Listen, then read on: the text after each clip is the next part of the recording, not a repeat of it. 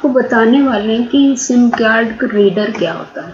आपने SIM card तो सुना होगा, लेकिन सिम कार्ड रीडर क्या होता है, ये आज हम बताने वाले हैं आपको तो उसको देखेगा और अगर आपको यूज़फुल लगे तो आप ज़रूर इसको खरीदेगा, जिससे कि आप अपने वर्क को अच्छा परफॉर्म कर पाइए।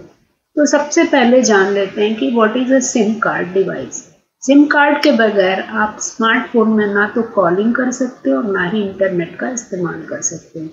तो कुल मिलाकर ये एक बेहद ज़रूरी कंपोनेंट है जो स्मार्टफ़ोन के लिए बेहद ज़रूरी होता है।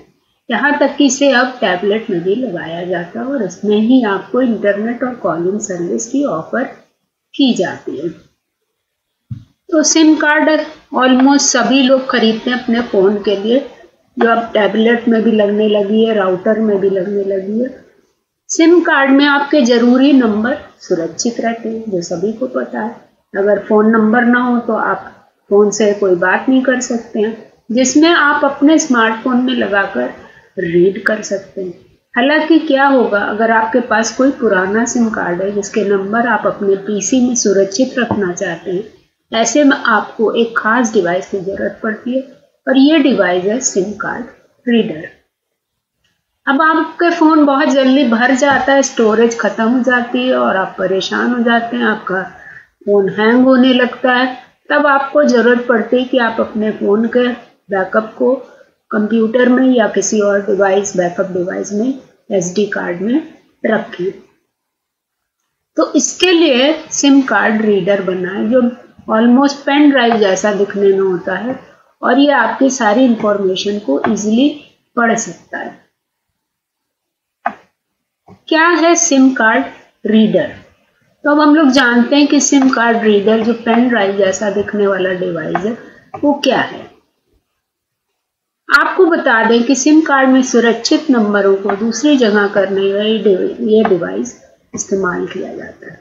इसको ज़्यादातर हम लोग किस लिए इस्तेमाल करते हैं? डेटा को ट्रांसफ़र करने के लिए।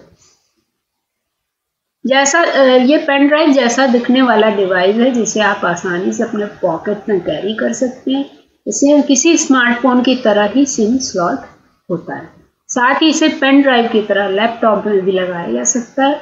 ऐसे में आप अगर अपने सिम कार्ड मौजूदा डिटेल्स को लैपटॉप में कॉपी करने के बारे में विचार कर रहे हैं तो ये डिवाइस आपके काम आ सकता है। तो इसमें सबसे सिंपल क्या है? ये पेन ड्राइव जैसा डिवाइस है, जिसमें फ़ोन के सिम कार्ड को इंसर्ट कर दिया जाता है और ये सिम कार्ड को रीड कर लेता है। और ये यूएसबी जैसा होता है तो ये लैपटॉप में लग जाता है। और जब लैपटॉप में लग जाता है तो आप आसानी से इसके डेटा को कंप्यूटर में ट्रांसफ़र कर सकते हैं। इसकी कीमत अमेज़ोन पे एट फोर नाइन रुपीज़ दी हुई है, लेकिन ये डिपेंड करता है डिफरेंट फ़ोन पे की, के डिवाइस के हिसाब से इसकी कीमत डिफरेंट होती है। क्योंकि आईओएस डिफरेंट होता है आईफोन में डिफरेंट होता है एंड्रॉयड डिफरेंट होता है तो उसकी वर्किंग स्टाइल डिफरेंट होती है।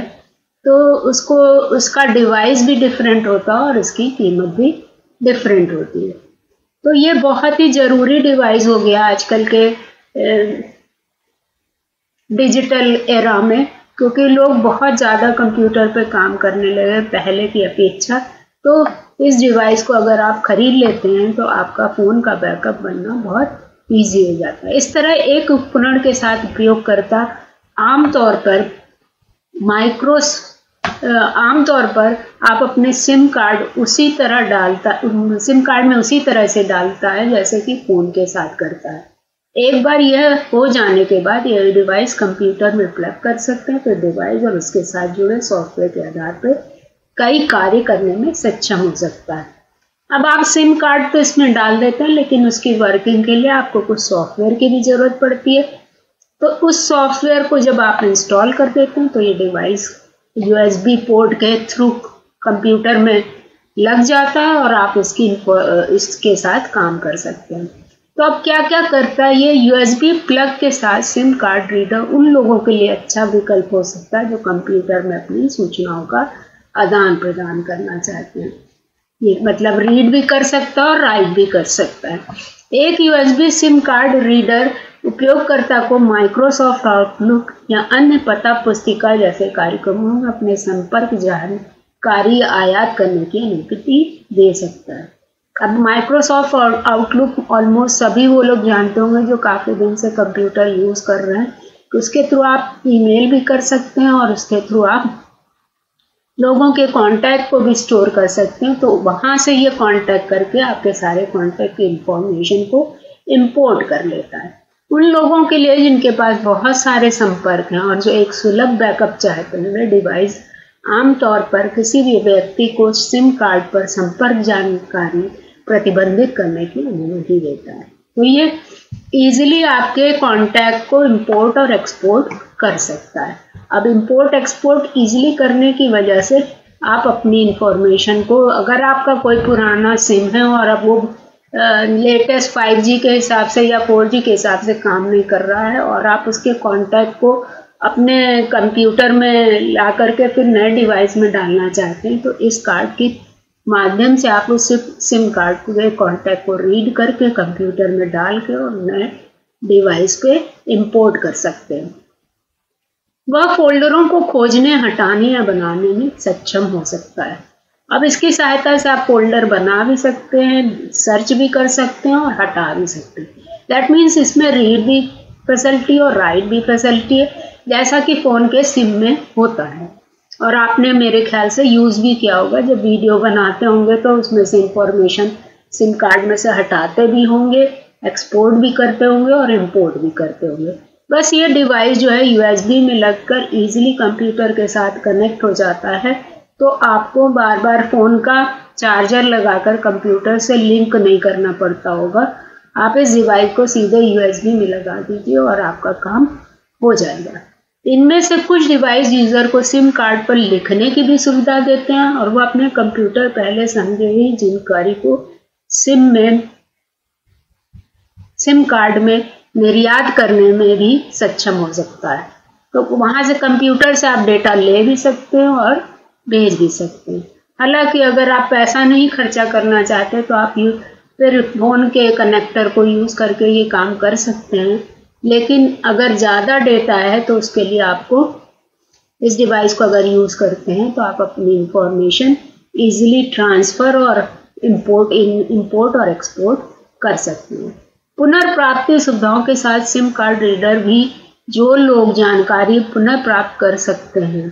अगर आपकी कोई डेटा डिलीट हो गया है, खो गया है तो उसको भी आप इसमें रिकवर कर सकते हैं। जो सुविधा आपको फ़ोन के सिम कार्ड में नहीं मिलती है, एक बार डेटा चला जाता है तो फिर आप उसको रिकवर नहीं कर पाते हैं। जब तक कि आपने गूगल पे बैकअप नहीं बना लिया। अगर गूगल पे आपने बैकअप बनाया है तो शायद आप डेटा को रिकवर कर सकती है। पर इस डिवाइस की हेल्प से आप डेटा को रिकवर भी कर सकते हैं। So this is all today viewer इतना ही आज आपको बताना था। अगर आपको ये पसंद आया हो तो प्लीज़ इस डिवाइस को अगर आपके ज़्यादा डेटा है तो यूज़ कर सकते हैं।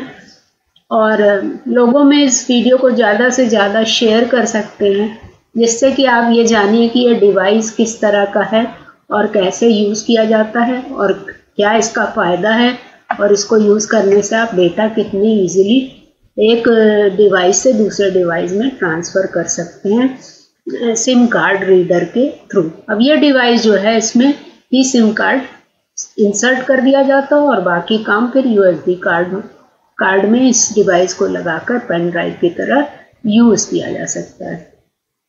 तो प्लीज़ अगर आपको ये मेरा वीडियो अच्छा लगा हो तो वीडियो को सब्सक्राइब कर दीजिएगा चैनल को सब्सक्राइब कर दीजिएगा और प्रेस बेल ज़रूर दबाइएगा जिससे कि आपको नेक्स्ट वीडियो नई इन्फॉर्मेशन के साथ मिलती रहे जो आपको हेल्पफुल हो। और अगर हेल्पफुल है तो प्लीज़ कमेंट ज़रूर करिएगा और बताइएगा कि अगर आपको किसी स्पेसिफिक टॉपिक पर कुछ इन्फॉर्मेशन चाहिए तो आप कमेंट में ज़रूर बोलिएगा। Thank you